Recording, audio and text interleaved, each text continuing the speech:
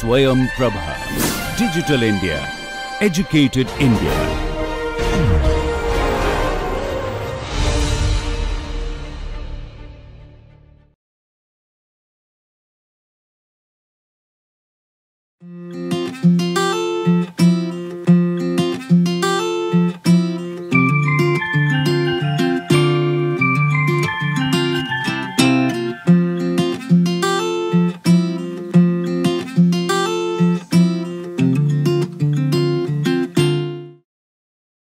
So, we uh, continue our applications of uh, concepts of uh, variable area ducts, uh, shock waves, expansion waves uh, in uh, problems. So, here we take simple problems not too many variety of concepts are used. So, a nozzle in a wind tunnel gives a test section Mach number of 2 air enters the nozzle from a large reservoir at 0.69 bar and 310 Kelvin. Cross sectional area of the throat is uh, 1000 centimeter square.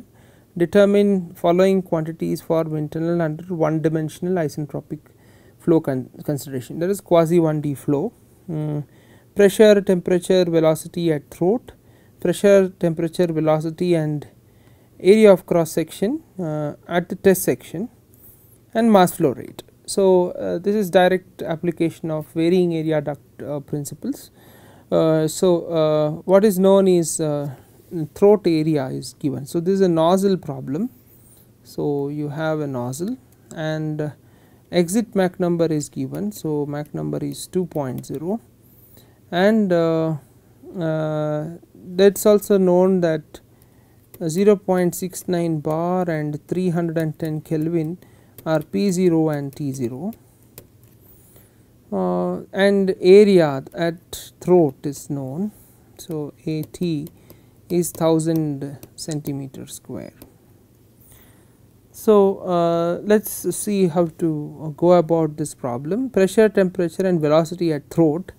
Uh, for this um, at throat uh, at operating conditions for a supersonic nozzle uh, throat Mach number is 1. So, Mach number is 1 so, P star by P naught and T star by T naught are the values to consider and this is uh, 0.528 and this is 0.834 okay. So, these values you can get from isentropic uh, tables or calculators.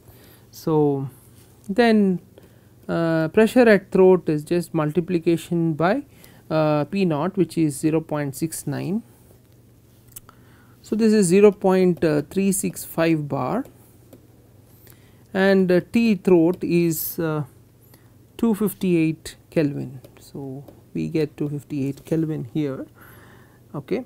and uh, uh from this uh, we can also calculate uh, what is the velocity at the throat.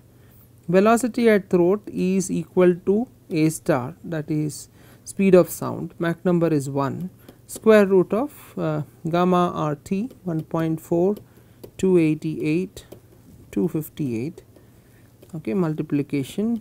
This is uh, 323 meters per second. Okay. Uh, this is the uh, value. Uh, now uh, we go to what should be the pressure temperature velocity at um, the exit. So, it is an isentropic flow completely an isentropic flow Mach number is 2 at the exit. So, ME is 2.0. So, PE uh, by P naught. So, PE by P naught is 0.128 TE by T naught is 0.55 uh, 5 and since we need to find area of cross section we need to know A by A star. This is for Mach 2 it is 1.687 so uh, pressure at the exit is uh, 0.0885 bar. Temperature at the exit is uh, 172 Kelvin. And the area is uh, 1.687 multiplied by 1000 1687 uh, centimeter square.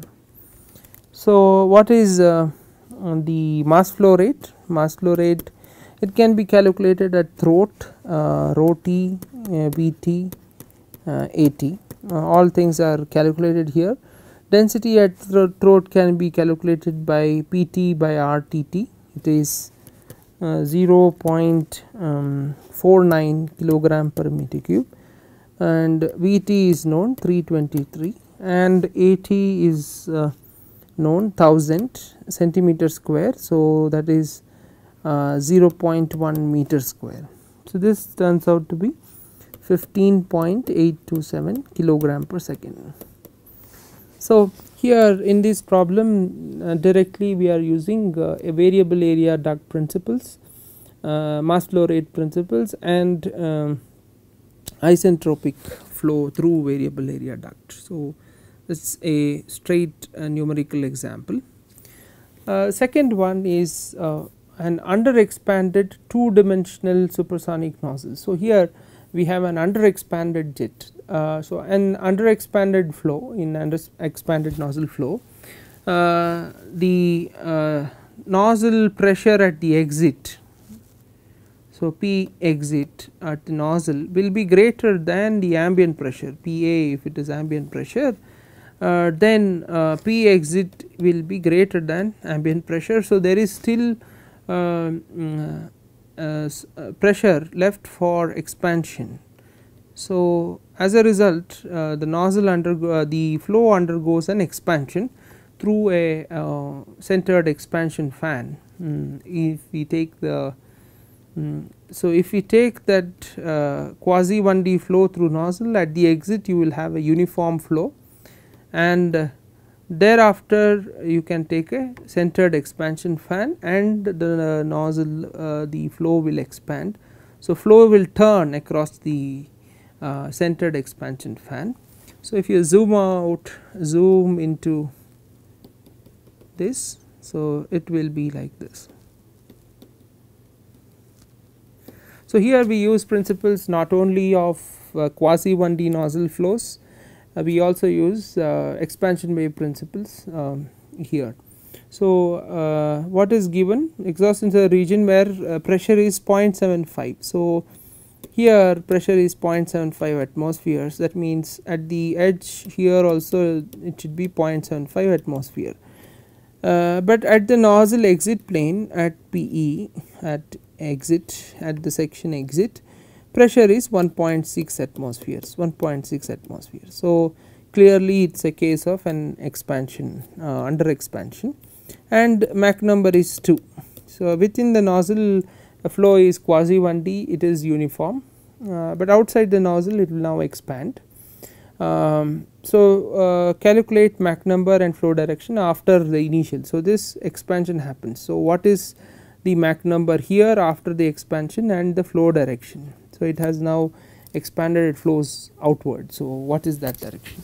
Uh, we know pressure ratio, uh, pressure ratio is known. So, if I take this as region 2 and region 1, uh, P2 by P1 is given, P2 by P1 is 0.75 by 1.6 atmospheres. This is given to us.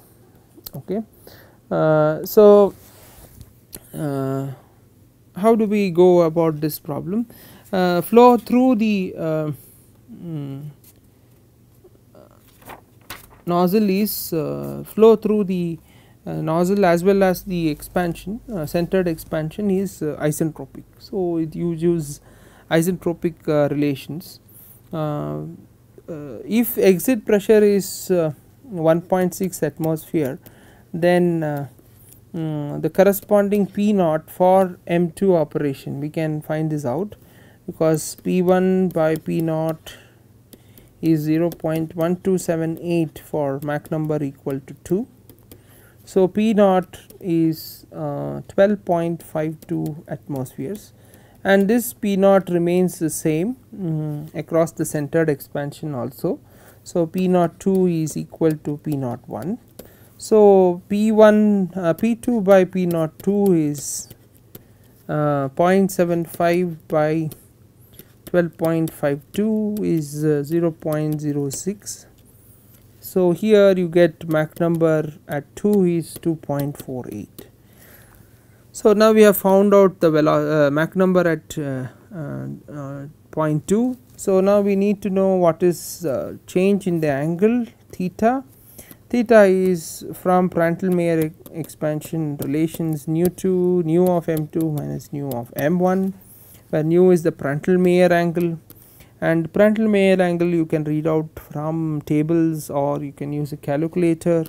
38.651 minus 26.37 degrees which is 12.281 degrees. So, uh, you have used two concepts here. One is a quasi 1D flow in the nozzle and then uh, an under expanded jet. And in the initial expansion you used Prandtl-Meyer uh, expansion relations. So, uh, connected concepts being used here. Okay. So, in the next uh, problem hmm, a normal shock occurs in the divergent section of the convergent divergent nozzle. Uh, throat area is one third of the exit area and static pressure at the exit is 0.4 times that of total pressure at inlet. Flow throughout is isentropic except through the shock. Determine Mach numbers before and after the shock, area of cross section of nozzle at the section um, uh, where normal shock occurs, static pressure uh, before the shock. So, um, what is given let us see uh, this is a nozzle and uh, area ratio of this nozzle is given exit area and throat area AT AE by AT is uh, 1 by uh, 1 AE by AT is 3. So, that is AE by AT is 3 and uh, somewhere here no, uh, one shock occurs and P exit to P01. P exit by P01 is uh, 0.4. So, this is given. How do we go about this uh, problem? So, uh, this uses concepts of shock in uh, divergent uh, passage. So, what we know is, so if I name these as uh, 1 station number 1, 2, 3, 4. So, this is what I would say.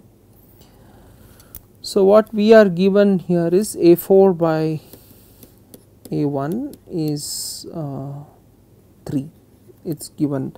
A 4 by A 1 is 3 and what is uh, A 4 by A star? In this particular case it will be A 4 by A 1 is equal to A 4 by A 3 star. So, A 4 by A 3 star because there is a normal shock here okay, uh, multiplied by um, A 3 star. So, uh, A 4 star uh, or A 3 star by A 2 star. So, A, A 3 star by A 2 star. So, uh, A2 star will be equal to A1 because uh, this is a supersonic flow here Mach number is 1 and here uh, all through this region A2 star will be equal to A1 star or A1 equal to AT.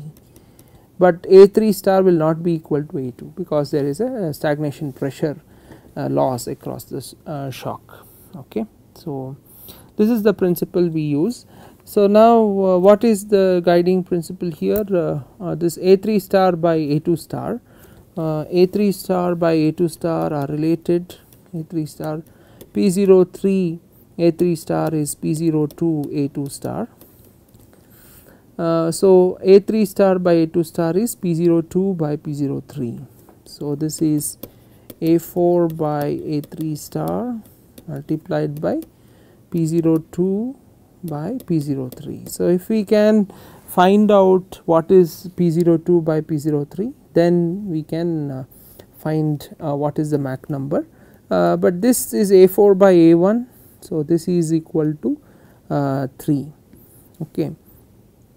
Now, what is given about uh, P02 by P01. So, now P03 by P02, P03 by P02 is A4 by A3 star multiplied by 1 by 3 okay uh, this is uh, known. Now um, we know P0 uh, P4 by P01 is given. So P4 by P01 is given.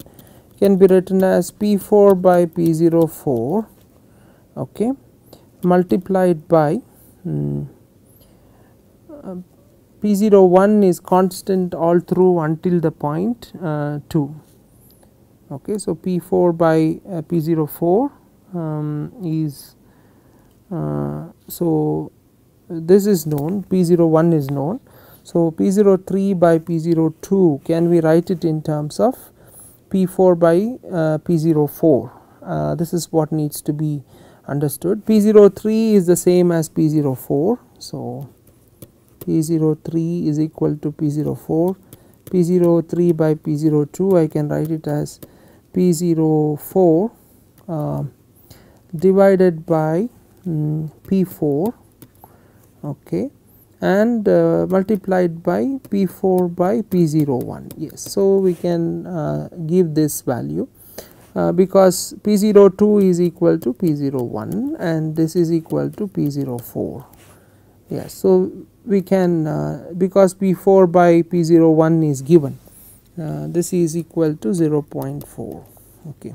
So, now we get uh, an equation uh, P04 by P4 multiplied by 0.4 is equal to um, A4 by A4 by A3 star multiplied by 1.1 by 3 now this can be expressed only in terms of Mach number M4. This can be also expressed only in terms of the Mach number. Okay, so this can be expressed.